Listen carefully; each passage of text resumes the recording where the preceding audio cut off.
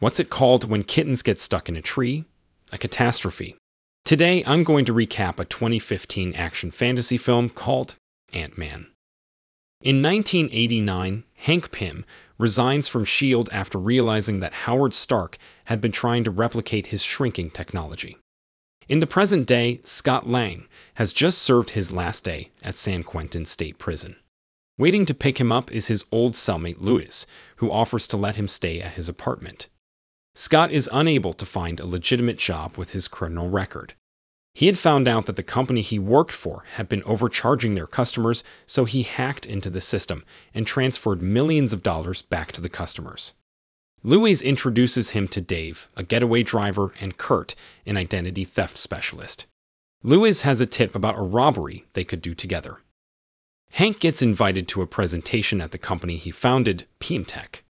He runs into his daughter, Hope Van Dyne, and his former protege, Darren Cross, who shows him a prototype of the yellow jacket suit, modeled after the Ant Man suit that Hank wore.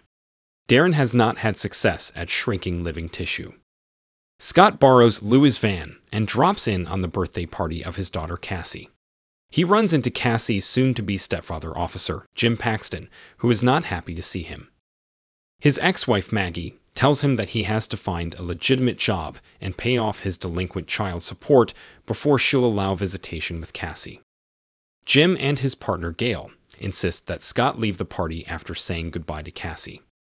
At Pymtech, Hope and Darren are trying to shrink sheep to microscopic size. Their experiment fails and a sheep is killed. Darren insists they press forward with another sheep. Scott realizes that it will be more than a year before he can see Cassie again if he takes a minimum wage job, so he takes up Luis on his offer. Luis' cousin Ernesto had a friend Emily who was a housekeeper and was dating Ernesto's friend Carlos. She told Carlos that the man whose house she was cleaning has a giant safe that's sure to be holding valuables. Scott agrees to help them with the robbery. Luis picks up supplies for the break in, and Kurt steals a communication technician's uniform.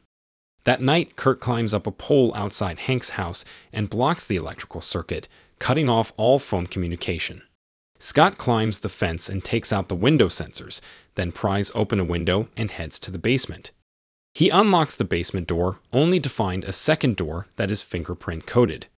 Using tape, he lifts Hank's print and opens that door. When he gets to the safe, he realizes that he'll need some ingenuity to break the steel door. He drills small holes around the lock, then squirts in water and uses nitrogen to freeze it. The frozen water warps the steel and causes the bolts to shoot out. When he opens the safe, the only thing inside is a weird looking bodysuit and helmet. He grabs that and heads out. Meanwhile, Hank has been watching the whole episode upstairs. Dejected at not having gotten anything valuable, the group heads back to Luis' apartment. Scott goes into the bathroom and examines the suit he stole, wondering why it was so heavily guarded. He notices tubes full of red and blue liquid.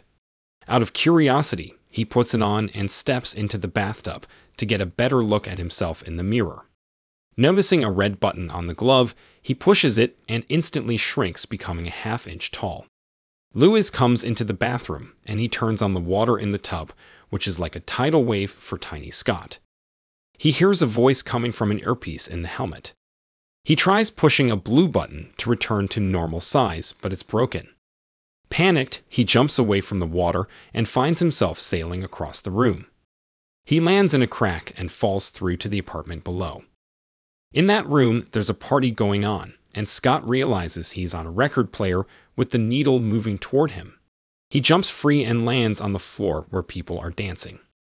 Avoiding the giant footsteps, he gets under the door and into the hallway where he is promptly sucked up into a vacuum cleaner.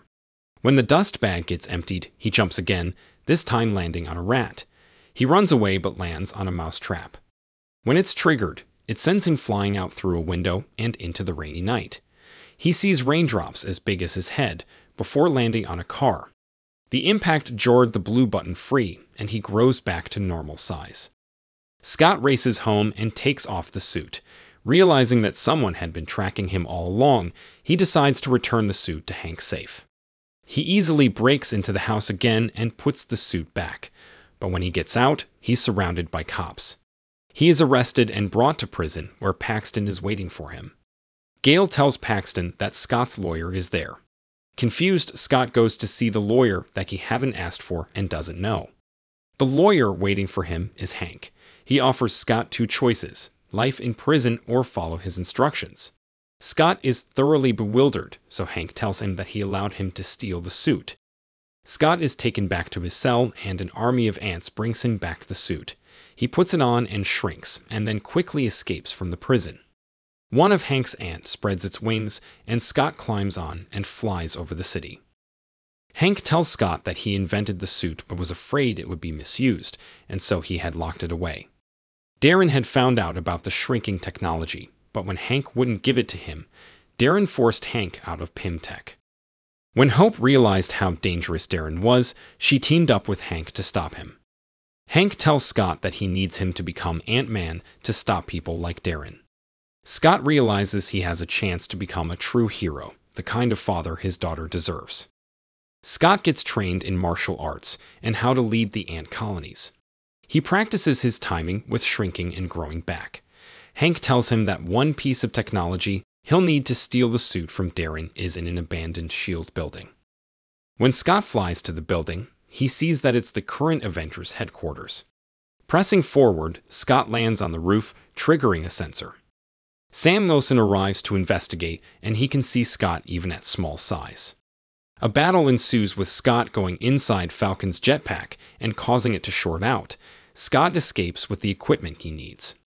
When Scott returns, Hank explains the truth about how Hope's mother died.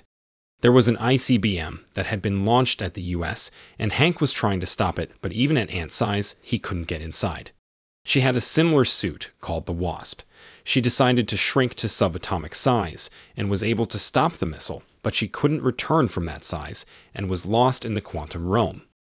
Darren Cross finally has success at shrinking a lamb. He envisions himself taking over Pymtech. He invites Hank to the grand unveiling, then calls Hope and tells her that he has increased security, including covering all the vents with microscopic mesh. They realize the job will be harder than they thought, and they'll need more people. Luis, Kurt, and Dave are brought in. Luis poses as a security guard and lowers the water pressure so Scott can get in through the pipes. Scott plants explosives throughout the building, but when he tries to steal the suit, he gets caught in a glass cage by Darren, who had anticipated the burglary. Darren plans to sell the technology to Hydra. Scott breaks free and takes out the Hydra agents, Darren gets into a chopper on the roof and escapes, just before the building blows up. Hank and Hope break out by turning a tiny tank to full size and ride it out the side of the building. Darren puts on the yellow jacket suit, and he and Scott fight inside the helicopter. After they both fall out, Scott is able to trap Darren inside a bug zapper, but Jim Paxton shows up to arrest him before he can destroy the suit. Darren goes to Jim and Cassie's house and threatens their lives hoping to draw Scott in. Scott arrives and they fight. The only way Scott can get inside Darren's suit is to shrink to subatomic size, and he causes Darren to shrink into nothing. Lang is trapped in the quantum realm, but hearing Cassie's voice, he manages to rewire the suit, reversing the process and returning him to normal size. Following the battle, a grateful Paxton covers for Scott so he would not have to go back to prison. Hank wonders if Hope's mother is also still alive somewhere. Luis tells Scott that the Falcon is looking for him. Mid credit scene.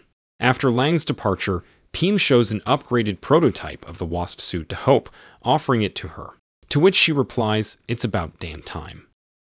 Post credit scene.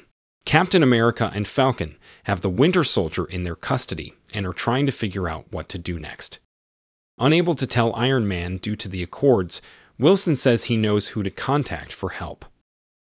If you enjoyed this video, don't be shy to hit the like button, and if you disliked it, hit the dislike button twice, just to be sure. You should watch the whole movie. Thank you very much for watching. Please subscribe for more video like this.